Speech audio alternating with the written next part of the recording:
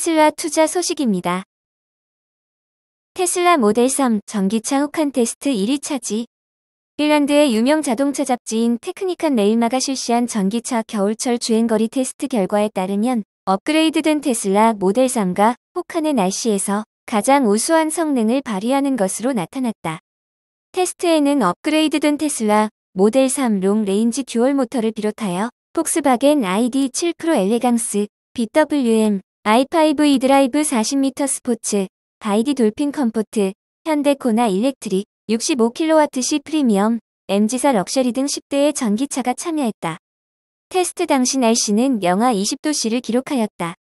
테스트 결과 현대코나 Electric은 배터리가 7% 남았음에도 멈춰섰고 MG4와 폭스바겐 ID7과 같은 다른 전기차들은 배터리가 방전되자 절전 모드를 시작했고 각각 15%와 10%에서 실내 난방을 차단했다. 업그레이드된 테슬라 모델 3 Long Range Dual Motor AWD는 배터리가 0%로 표시되었음에도 계속 주행할 수 있었다.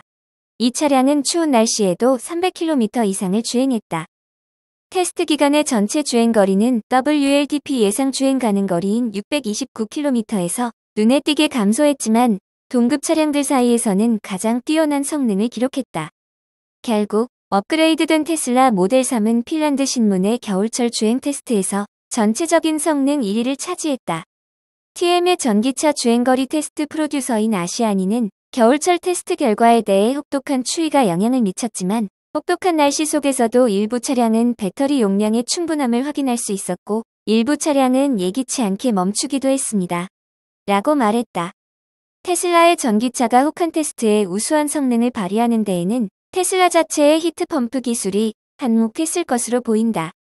히트펌프 기술은 실내 난방에 사용되는 에너지를 줄여 주행거리를 향상시키는 역할을 하는 것으로 알려져 있다. 얼마 전 미국 시카고에 불어 닥친 북극 한파로 인해 충전소에 멈춰선 테슬라 차량들의 사진과 영상이 공개되어 사람들에게 충격을 주는 일이 있었는데 그와 대비되는 이번 전기차 혹한 테스트의 결과에 대한 대중들의 반응이 기대가 된다.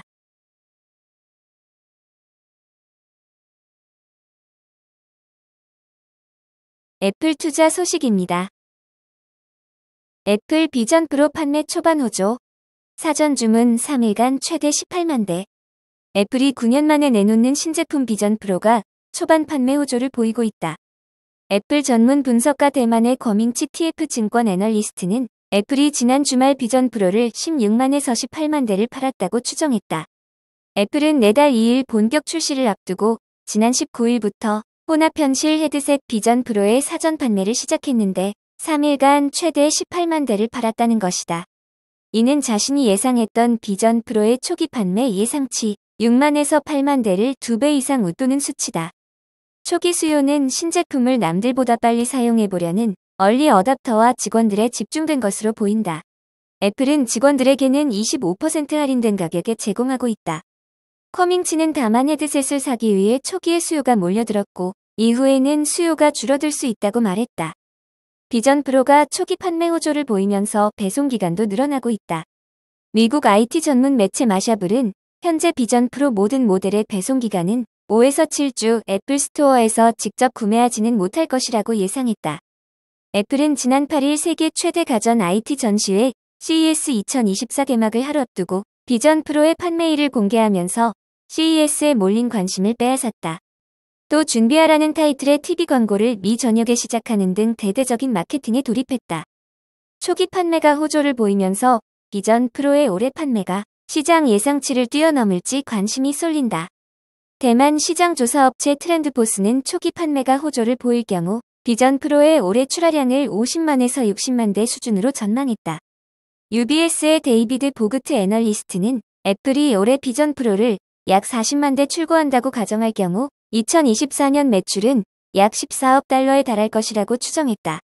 다만 판매 호조가 마니아층이 아닌 일반인들에게 이어질지는 미지수다. 가격은 256GB 저장 용량 기준 3,499달러, 512GB와 1TB는 각각 3,699달러와 3,899달러다. 제품 케이스와 배터리, 매직 키보드 등 부가적인 제품까지 더하면 4,000달러가 훌쩍 넘는다. 여기에 비전 프로에서는 유튜브, 넷플릭스, 페이스북, 스포티파이 등 인기 있는 앱이 지원되지 않는다. 이들 기업은 아직 비전 프로용 앱을 출시할 계획은 없는 것으로 알려졌다.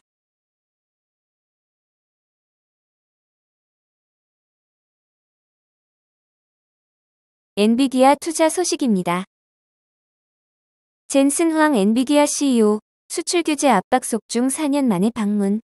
젠슨 황 엔비디아 최고 경영자가 4년 만에 중국을 찾아 선전 상하이, 베이징 소재의 엔비디아 현지 사무실을 방문했다고 블룸버그 통신 등이 보도했다. 보도에 따르면 젠슨 황 CEO는 중국 전통 의상을 입고 직원들과 함께 춤을 추는 등 새해 맞이 행사를 진행했다. 이에 대해 익명의 관계자는 블룸버그 통신에 그가 다른 임원들과 회의를 가졌는지는 확실하지 않다고 말했다. 엔비디아 역시 젠슨 황 CEO가 직원들과 함께 춘제를 축하했다며 구체적인 설명은 하지 않았다.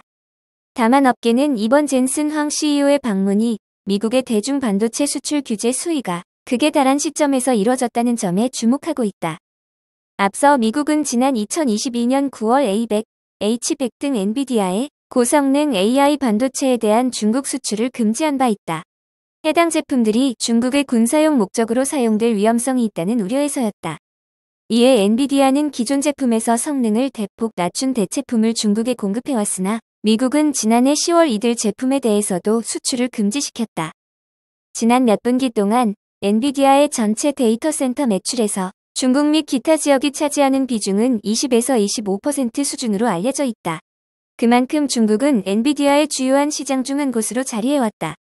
젠슨 황 CEO도 지난해 말 싱가포르에서 진행한 기자회견에서 자사의 계획은 미국 정부와 협력해 새로운 규정을 준수하는 새 제품을 만드는 것이라고 언급하는 등 중국 시장 확대에 대한 의지를 지속 드러내고 있다.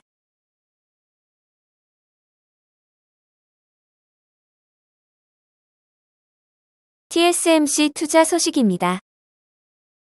TSMC의 대만에 1나노 공장 추가 건설 계획 42조 원 투입 TSMC가 1나노미터 웨이퍼 생산 공장을 대만에 추가 건설할 계획인 것으로 전해졌다. 연합보 등 대만 언론은 소식통을 인용해 TSMC가 대만 서부 자이현 타이바오시의 과학단지를 관할하는 남부과학단지 관리국에 공장 용지를 요청했다면서 이같이 보도했다. 해당 소식통은 TSMC가 남부과학단지 관리국에 100헥타르 규모의 공장 용지 활용을 제시했으며 이 중 60헥타르에는 1나노 공장, 나머지 40헥타르에는 최신 패키징 공장을 건설할 예정이라고 설명했다. 한 업계 관계자는 TSMC의 이번 1나노 공장 건설에 1조 대만 달러 이상이 투입될 것으로 내다봤다. 그는 이번 건설은 지역적인 리스크 분산과 함께 자이 지역의 도시 발전에 도움이 될 것으로 분석했다. 대만 매체에 따르면 TSMC는 앞서 중부 타이중 중부과학단지에 1나노 또는 1.4나노 공장 건설 계획을 진행 중인 것으로 알려졌다. 이와 관련해 TSMC 측은 공장 입지 선정에는 고려해야 할 사항이 많기 때문에 회사가 발표하는 내용을 토대로 이해해 달라고 밝혔다.